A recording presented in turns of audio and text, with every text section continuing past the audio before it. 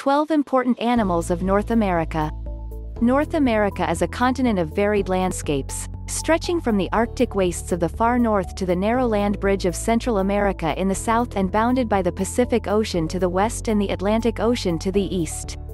Just like its habitats, the wildlife of North America is extremely diverse, ranging from hummingbirds to beavers to brown bears and all kinds of biological magnificence in between. 1. The American beaver. The American beaver is one of only two living species of beaver, the other being the Eurasian beaver. It's the world's second largest rodent after the capybara of South America and can attain weights of up to 50 or 60 pounds. American beavers are stocky animals, with compact trunks and short legs, webbed feet, and broad, flat tails covered with scales. American beavers are constantly building dams, aggregations of sticks, leaves, mud, and twigs that provide these oversized rodents with deep water habitats in which to hide from predators. Dams also provide winter shelter for other species and create wetlands. Beavers are a keystone species to an ecosystem, with their presence greatly affecting the landscape and food web wherever they reside. To The brown bear. The brown bear is one of the largest and most powerful terrestrial carnivores of North America. This ursine has non-retractable claws that it uses primarily for digging, and it can run at a considerable clip despite its half-ton size. Some individuals have been known to attain speeds of up to 35 miles per hour in pursuit of prey. Befitting their name, brown bears possess a coat of black, brown, or tan fur with longer outer hair, often of a different color, they're also equipped with sizable muscles in their shoulders that give them the strength necessary to dig. 3. The American alligator.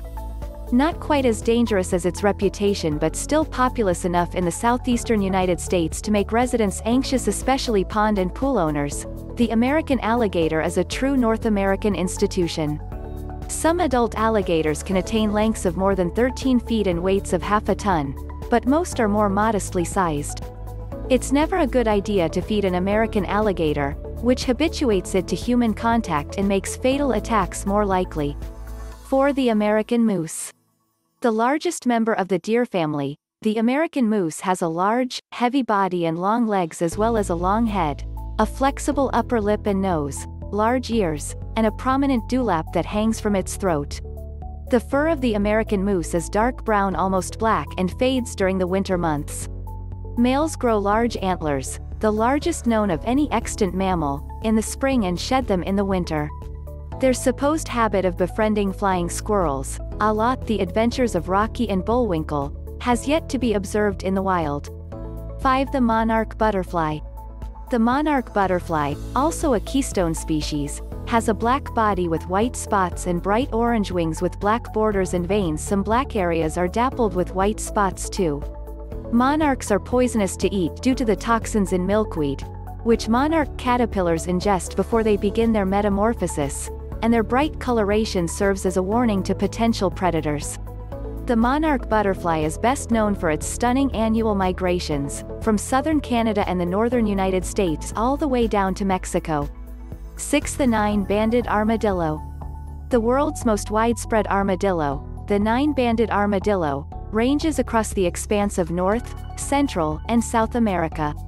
Measuring 14 to 22 inches from head to tail and weighing 5 to 15 pounds, the nine-banded armadillo is a solitary, nocturnal, which explains why it so frequently features as roadkill on North American highways, and insectivore.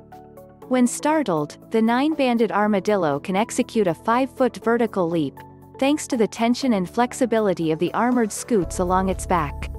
7. The tufted titmouse.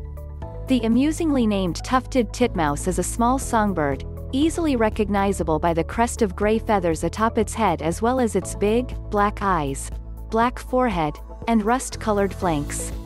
Tufted titmice are notorious for their fashion sense. If possible, they will incorporate discarded rattlesnake scales into their nests and have even been known to pluck the fur off live dogs. Unusually, too, tufted titmouse hatchlings sometimes choose to linger in their nest for an entire year, helping their parents to raise the next year's titmouse flock. 8. The Arctic wolf. The Arctic wolf is a North American subspecies of the gray wolf, the world's largest canid. Adult male Arctic wolves measure between 25 and 31 inches tall at the shoulder and can attain weights of up to 175 pounds. Females tend to be smaller and lighter. Arctic wolves usually live in groups of 7 to 10 individuals but will occasionally aggregate in packs of up to 30 members. Despite what you may have seen on TV, Canis lupus arctos is friendlier than most wolves and only rarely attacks humans. 9. The Gila monster. The only venomous lizard as opposed to a snake indigenous to the United States, the Gila monster doesn't deserve either its name or its reputation. This monster weighs in at only a couple of pounds soaking wet, and it's so sluggish and sleepy that you'd have to be especially crepuscular yourself to get bitten by it. Even if you would get nipped, there's no need to update your wool. There hasn't been a confirmed human fatality from a Gila monster bite since 1939, which, unfortunately, hasn't prevented many people from reacting disproportionately and deliberately killing any Gila monsters they encounter. 10. The caribou. Essentially a North American species of the reindeer, the caribou consists of four variants, ranging from the small 200 pounds for males, Peary caribou to the much bigger 400-pound males, boreal woodland caribou. Male caribou are known for their extravagant antlers, with which they battle other males for the right to mate with females during breeding season. Human inhabitants of North America have been hunting caribou for well over 10,000 years. Populations are rebounding somewhat today after being on the decline for a decade, even as this even-toed ungulate is restricted to increasingly narrow slices of territory. Climate change and oil and gas drilling could affect their numbers in the future. Woodland caribou are considered a keystone species in their environment. 11. The ruby-throated hummingbird. Ruby-throated hummingbirds weigh less than 0.14 ounces. Both sexes have metallic green feathers along their back and white feathers on their belly. Males also have iridescent, ruby-colored feathers on their throats.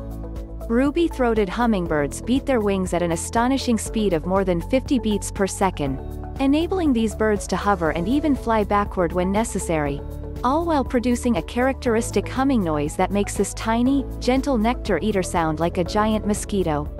12. The black-footed ferret. All the other North American animals on this list are relatively healthy and thriving, but the black-footed ferret hovers on the brink of extinction. In fact, the species was declared extinct in the wild in 1987, with the last 18 of them becoming breeders for their reintroduction into Arizona, Wyoming, and South Dakota.